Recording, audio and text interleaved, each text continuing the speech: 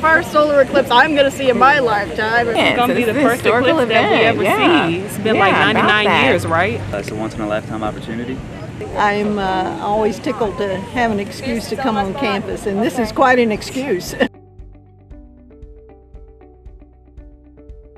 I just love everything about space. So. They're part of something bigger than us.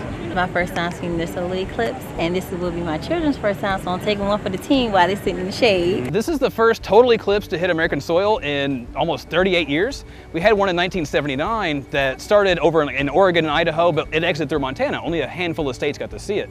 Uh, and then 1970, we had a total solar eclipse go right over Hampton Roads. So a lot of people actually, they were talking to me about that one. You know, remember growing up as a kid, seeing the total eclipse right over Hampton Roads. Uh, but for the path like this, from coast to coast, it's been 99 years since we've had an eclipse just like this. It's my 29th birthday.